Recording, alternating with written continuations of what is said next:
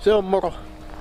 Nyt ollaan tuota pohjoisiin eräkävijöiden metsästysmajalla. Siellä näkyy maja taustalla. Tämän päivän ohjelmistossa on tuota pienpetokoulutus. Meillä on täällä vähän rekvisiittaa näköisellä. Siinä on monenlaista loukkua ja sitten on vähän petojen jälki, jälki tuota pressua siinä pääsee näkemään. Ja lähdetään käymään tuolla sisällä vielä katsoa. Meillä on itse, itse koulutuksen pitäjä sinne laittanut myös monenlaista näköiselle. Täällä meillä on Juha Mäkimartti, joka tulee koulutuksen pitämään. Miten Juha, kerropa lyhyesti, tota, mitä me tänään vähän kuuluu? No joo, meillä on, tota, meillä on tuossa Pohjoismaisen Supikora-projektissa töissä ja Riistahallinto, Riistakeskus hallinnoi tätä, tätä projektia. Ja nyt puhutaan tänä päivänä, pääaihe on tämä päävastusta ja on tämä supikoira ja sitten kuullaan tuota muutakin, muutakin pienpeton pyyntiä, että tuota, näätää ja minkkiä ja No ketunpyynnistä ei tänä päivänä oikein isosti porissa, mutta tuota, minkin pyyntiä. Näitä haitallisia vieraslajeja, jotka ei kuulu niin suomalaiseen alkuperäiseen luontoon, niin näihin me keskitytään tänä iltana. Kyllä. Niin. Hei, kiitoksia kaikille, että olette päässyt paikalle ja meillä on pohjoisien eräkävijöissä tämmöisiä tuota, noin tarpeita pienpetopyynnille ja ajateltiin järjestää koulutus siten, että ei, ei pelkästään omille seuralaisille, vaan kaikille aiheesta kiinnostuneille. Ja, ja seurasta, seurasta vielä sen verran, että, että ampumarata on tuossa ja metsästysalueet on tässä noin 8500 hehtaaria ja Pohjoisin eränkävi hoitaa myös tuota, niin kuin merialueen linnunpyyntihommaa yhdessä Pohjoisiin jakokunnan ja, ja tuota, metsästysyhdistyksen kanssa. Ja jäsenistöä on, on tuota, yli parisattaa ja, ja sitten on, on myös muita metsästysoikeuden lunastaneita. Ja sauna tähän hiljattain ollaan rakennettu ja tätä majaa kovasti vuokrataan käyttöön. Tämmöinen on niin meidän, meidän seura ja, ja tervetuloa vaan kaikille.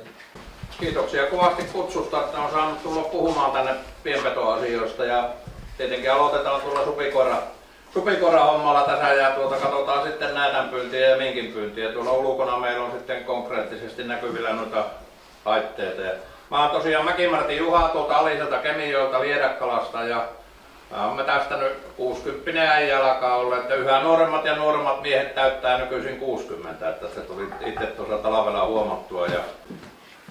Niin tuota, aloitetaan tästä supikora-hommasta. Tässä on mulla näitä nykyisin ihan nämä kaikki nämä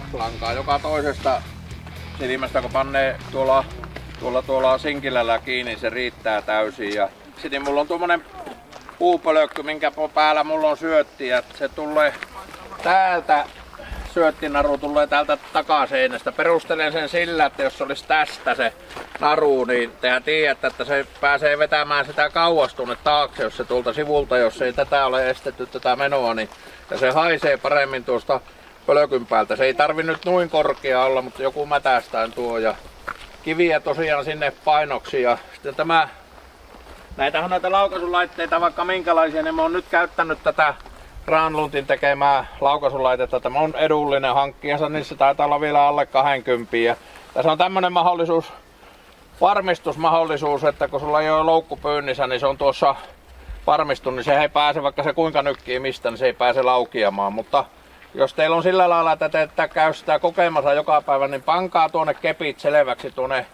etureunaa, että tuota, se muut mettäsäkulkijat ja luonnonkulkijat hoksaa, että se ei ole pyynnissä.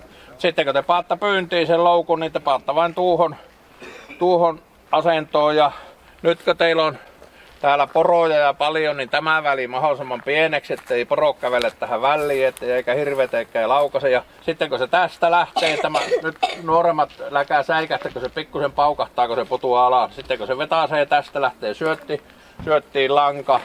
Ja niin kuin minä näytin tuossa, niin meillä kun on siiliä paljon, niin mulla roikkuu rautalangalla se pikkusta vaille tuota loukun pohjaa se syötti ja se täältä tulee, niin silloin kun se nykäisee tuosta, niin nyt pikkusen paukahtaa, että läkää säikästäkö. Noin se napsahtaa. Ja se putoaa niin nopeasti tuonne alle. Ja tämä mitta riittää aivan, riittää aivan täysin tuohon, että se ei tarvi olla tämän isompi tuo loukku. Ja sitten se on helppo yksin, yksinkin virittää tämä. Näette heti, että mulla on peukalossa laastari, että ei se aina ole niin helppoa, mutta tämän kyllä pystyy virittämään sitten aika kätevästi tästä yksinkin, että, että tuota, ja pannee tuohon varmistusasentoon sitten ja virittää tuon langan tuon, että se on oikean mittainen. Ja syöttilangan suunta on mahdollisimman suora, että se ei tee kovaa polovia tuohon, että se tästä, tästä tuota, tulee murto siihen. Ja tässä on sitten tässä on sitten näitä erilaisia minkinpyyntiloukkuja.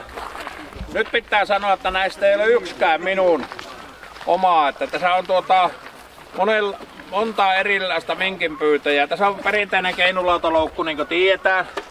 Tämä on normaali keinulautaloukku, mutta siihen on lisätty sitten tuommoinen adapteri tuohon, että sinne pannaan rauat, konipäkkirauat tuohon pyyntiin. Nyt kun minkki menee tänne keinulautaloukkuun, niin silloin jos ei ole rautoja pyynnissä, niin tämähän pitäisi käydä joka päivä kokemassa, kun se on elävänä pyytävä loukku. Mutta kun minkki menee tuosta keinulauvasta, niin se katsoo, että hän ei mihinkään muualle pääse ja tuolla on avonainen verkko, se syöksyy niihin rautoihin, niin silloin että tätä ei tarvi joka päivä pyytää, että tämä on yhdistetty keinulautaloukku ja koneipäkki. Sitten tässä on se, mistä puhuin, mäyräloukku, mitä kehitettiin Granultin kanssa, niin huomaat, että tässä on tämmönen tupla, tupla tuota, lunkku, että nyt kun mäyrä menee tänne, niin mitä lujemmasti se pukkaa tätä, niin se enää tämä ottaa vastaan. Ennenhän se oli vain näin, se oli tämän varas. Jos se tuon saapi auki mäyrä tuolta, niin se tulee ja kyllä sitä tulee kettukin. Mutta nyt se ei pääse, kun se ottaa tämä vastaan. Tämä on helppo virittää tämä loukku sitten. Ja pannaan tuohon tuo tanko tuohon päälle. No. Se vähän jotenkin kanissa tuonne. Sitten kun elukka astuu tuonne päälle, niin se vetää se tuosta, niin se putoaa loukkualla. Ja kaikki... Minkä hinta? No sehän se on mitä me sanoin, että aina kun materiaalit nousee paremmiksi, tehdään tuota, vankemmasta langasta ja tuota, muovipäällystä, niin onko se hankkijalla niin 139 euroa? En ole varma. Hankkija tätä myy. Sitten täällä on näitä, näitä uusia rautoja sen takia justiinsa, että kun se ei tuo lyöntienergiaa kuulemma noissa konepekeissä riitä, mutta tämä on aika turvallisia virittää, kun ne pystytään virittämään täältä ulkopuolelta, että ää, nuorisollekin, mutta taas sitten nämä on aika raskas täältä virittää, että ei se silti ole, että sanotaan, että ne on turvallisia virittää, niin aika raskas se on virittää tuo, mutta ne on aivan kauhia tuo iskuenergia. Onko sillä merkillä, kun minä olen tuommoisella saanut minkin, niin siihen ei mennyt toista, kun sinne tuli veret ja ehkä minkin joku haju. No ei, päinvastoin se minusta pitäisi niinku lisätä sitä tehoa. Että, mutta tuota, ne on ollut loput viissaampia, se oli No, no, tyhmä, no, se oli tyhmä se. Mutta nämä on näitä, näitä, näitä Nämä on tosiaan, niin tämäkin ei, tämäkään ei ole minun tekemä systeemi tämä, että tuota, tämäkin on tämä viritys, niin tuntuu aivan kauhealta panna käsi tänne.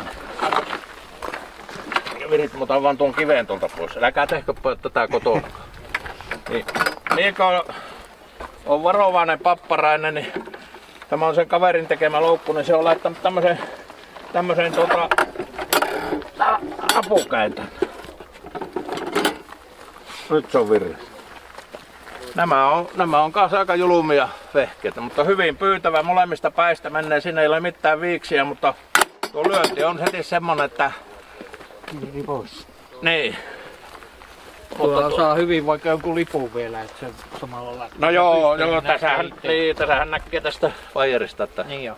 Tai sehän voi olla tuolla jonkun naula Niin on, niin on. kun he läppäistään, näet heti, Tämä on jotain, jotakin amerikkalaisia malleja ja siihen kun pannee sokaa ja molemmat päät on auki, mutta iskuenergia on kova. Sitten täällä on se esiinny niin minkin pyytäjä ammattilaisena, mitä minä en ole. Niin tässähän te näette nyt konipäkkirautoja. Tässä on perinteinen konipäkkirauta, että siinä on viikset tuolla väli, että mistä se laukeaa. Normaali rauat. No tässä on Tapanin systeemi, niin tähän puuttuu viikset. Vähän hölmöää sitten hommaa pyytää semmoilla rauvoilla, missä ei ole viiksiä, mutta nyt me, me aina otan riskin siinä, kun mä täällä koulutuksessa alan virittää rautoja, että ettei käykään pojat, että autsu. No mä pitää aina tehdä sitten muistaa, että kun te ottaa, niin ottakaa aikuinen tähän matkaan, kun te viritätte näitä rautoja ja semmonen, joka osaa. Ja näihin, näihin on olemassa semmosia virityspihtiä. Virityspihtiä, mutta mulla on vielä papparaisella on sen verran noissa käsissä voimaa, että me saa nämä virreeseen. Nyt kaikki jännittää ja pidättää hengitystä kohta läpsähtää. Niin tämä pannaankin tämä Tapanin malli näin pyynti. Te pidätätte, kun te laitatte pyyntiin näitä, oli se, niin pidätättäkää vaan täältä alareunasta kiinni näin. Ja otatte sitten tästä, tästä sar- sarvesta kiinni, sievästi löysäättä, niin te, te puototta käin tänne alaspäin, niin jos sattuu, että se laukia, niin se ei tulekaan sormille. Ja nämä iskuenergia on niin kovaa, että tuota, se riittää varmasti, että tuota, siinä, siinä tulee kyllä vahinko. Niin Tapanin systeemi on tämä pikkusen tästä, kun on mennyt rikki näköjään, kun ollaan näitä poikien kanssa lauottu näitä, niin ne on pikkusen mennyt tuota, rikkittämään, niin tämä perustuu tähän tämä systeemi. Noin. Ja kokki vieläkin aivan hölmön näköinen pyynti, että miten tuo voi pelata. Ja nyt minun pitäisi laittaa tämä läppä tuonne. Arvaakka paanko sormia tuonne väliin. Ei pappa pane. Papalla on tämmöset piheet. Tonne vähän vippasen jo kääkki, kun olen vanha mies. Niin. Noin. Ja tosiaan tuolla kun on käyty noita kilpailua ja Tapani on voittanut minutkin mennen tulla ja palaten tuossa kilpailussa, niin mie siltä sai vihoviimeen tämän mallin, että mikä se on, että jos me saadaan muut, vi- saadaan tuota, jos 50 minkkiä saadaan kilpailussa, Tapani saa niistä 29, jotenkinhan se on taitavampi kuin meille, mutta se onneksi paljasti tämä asia. Ja nyt tämä on, se taas pikkusen paukahtaa, niin, niin tuota, se on vähän rikki tuonne, noin se lauki ja sen pystyy pannemaan molemmin päin. Ja rauat kiinni. Rauat kiinni sitten, kun tuota aletaan pyytämään, niin